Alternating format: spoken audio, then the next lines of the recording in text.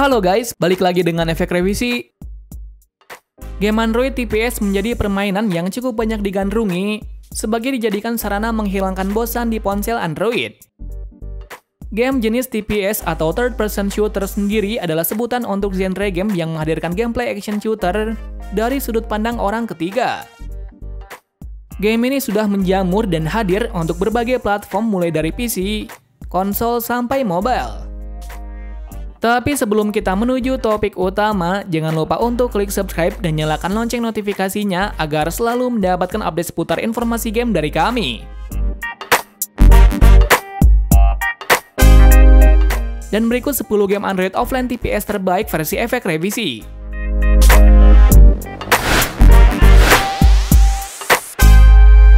Arcus Archery Kita mulai dari game yang mengambil konsep memanah. Jika kalian tidak memasang ekspektasi yang tinggi untuk grafis game-game offline, maka kalian akan sedikit dikejutkan ketika pertama memainkan game ini. Grafis yang disajikan begitu rapi dan memanjakan mata. Kisah dalam game pun cukup menghibur untuk diikuti. Di sini kalian akan berperan menjadi seorang pemanah yang melindungi sebuah desa dari serangan pasukan tengkorak. Selain menggunakan senjata utama berupa panah, di beberapa kondisi kalian juga akan mengalami pertarungan jarak dekat dengan memakai pedang. Kontrol game ini cukup sederhana dan mudah untuk dipahami. Kalian hanya perlu menyentuh bagian layar untuk menargetkan musuh dengan panah.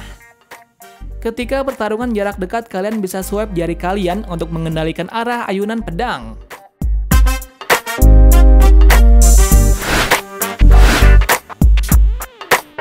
Red Storm Vietnam War Rekomendasi game Android offline TPS selanjutnya adalah Red Storm Vietnam War. Dari judulnya saja sudah dapat ditebak bahwa perang Vietnam akan menjadi latar dari game yang satu ini. Menampilkan grafis tiga dimensi, game Android bertema perang ini dapat dimainkan secara offline maupun online. Di dalam mode online, kalian bisa memainkan peperangan 10 lawan 10 dengan teman-teman kalian. Game keluaran Mio Play ini menyediakan 20 jenis senjata yang didesain berdasarkan senjata-senjata pada Perang Vietnam untuk kalian gunakan. Selain itu, terdapat berbagai macam kendaraan seperti tank baja yang akan menambah keseruan bermain.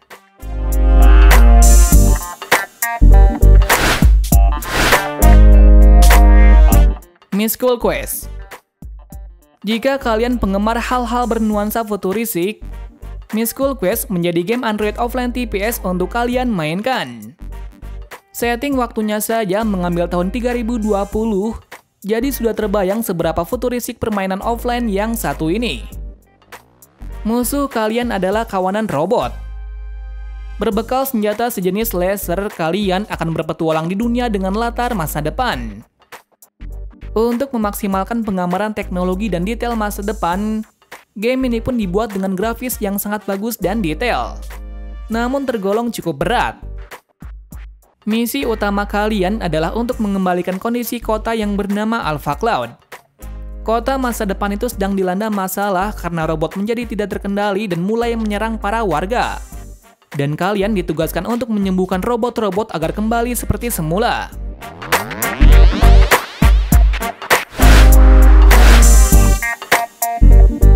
Cyber Soul Evil Rise.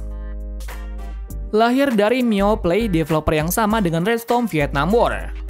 Cyber Soul Evil Rise merupakan rekomendasi game Android offline TPS selanjutnya. Genre yang diambil pada game ini terbilang cukup unik, yaitu memadukan unsur science fiction dengan horor. Cyber Cell Evil Rise akan membawa kalian ke suasana zombie apocalypse yang futuristik. Dibuat dengan menggunakan Unreal Engine, Grafis yang tersaji pun cukup berhasil menampilkan visual berkualitas tinggi yang enak untuk dipandang. Pilihan senjatanya pun beragam, sehingga kalian tidak akan cepat jenuh dalam memainkan game ini.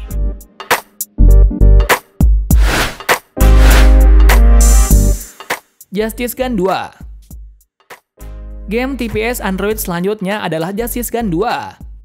Permainan dengan tema perang ini menyediakan versi demo yang bisa dimainkan gratis sebelum kalian memutuskan membeli versi fullnya. Kalian akan berperang sebagai anggota angkatan bersenjata Turki yang melawan pihak militer dalam sebuah aksi kudeta. terdapat 90 lebih misi untuk diselesaikan di 10 map berbeda. Setiap misi akan membuka medan baru untuk kalian. Grafis game ini dibuat serealistis mungkin. Sebelum mulai berperang, kalian harus menentukan peran pilihan kalian. Ada dua job yang tersedia, yaitu attack soldier yang akan berperang di garis depan atau sniper.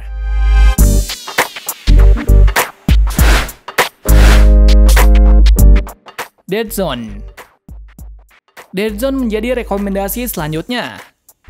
Jika kalian suka menjadi tentara yang menembaki monster-monster ganas dan menakutkan, maka kalian bisa mencoba memainkan game yang satu ini.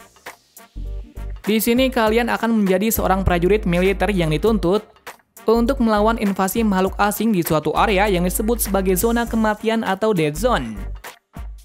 Mekanisme gamenya disajikan level by level dengan variasi stage yang memiliki kondisi tempat berbeda satu sama lainnya. Visual yang tersaji pun tidak main-main. Kalian akan dimanjakan dengan grafis khas game AAA yang terkesan realistis. Tapi tenang saja jika kalian takut mengalami lag, game ini menawarkan opsi penyesuaian grafis untuk mengimbangi spesifikasi gadget yang digunakan.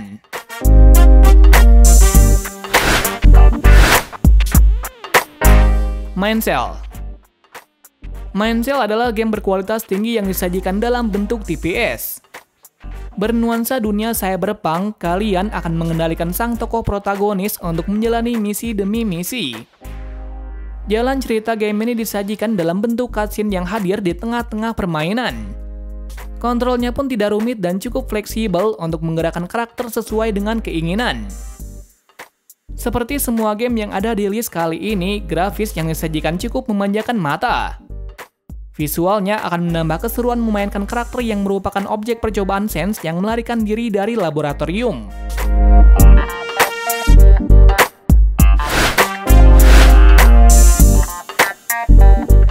Paragon Infinity Wave Selanjutnya ada Paragon Infinity Wave. Game dengan perspektif kamera TPS 1 ini berfokus pada aksi tembak-menembak. Uniknya musuh yang harus dihadapi tampak seperti monster-monster dari dunia fantasi, namun karakter yang kita mainkan tampil dengan nuansa science fiction. Seperti namanya yaitu Infinity Wave, gameplay di permainan ini adalah menembaki musuh yang datang dalam gelombang serang tanpa ujung. Musuh akan selalu berdatangan untuk dikalahkan kalian akan mendapat reward berupa koin setelah berhasil membunuh mereka. Reward tersebut dapat digunakan untuk membeli senjata atau mengupgrade kemampuan karakter.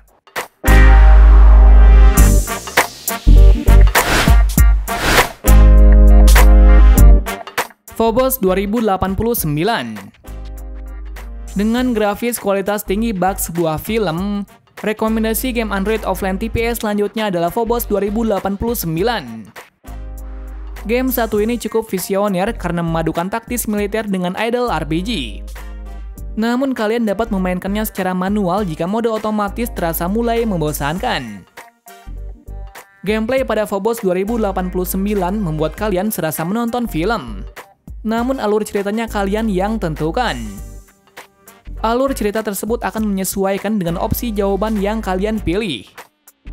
Untuk bagian peperangan, kalian harus mencocokkan jenis senjata dengan tipe musuh yang dihadapi. Selain itu, kalian juga perlu mengupgrade senjata yang digunakan agar dapat mengalahkan musuh dengan tingkat kesulitan yang terus meningkat.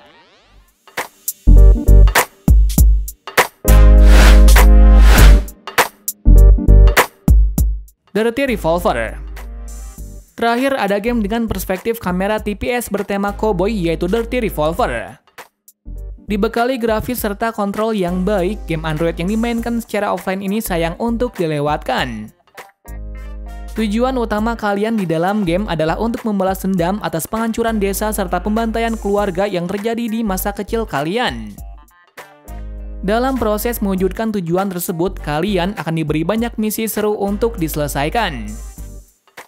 Fitur-fitur yang membuat game ini tidak cepat membosankan di antaranya Terdapat empat kota berbeda untuk dikunjungi, kondisi cuaca yang variatif, fleksibilitas untuk mengubah tampilan karakter, hingga beragam jenis senjata khas cowboy untuk digunakan dan masih banyak lagi.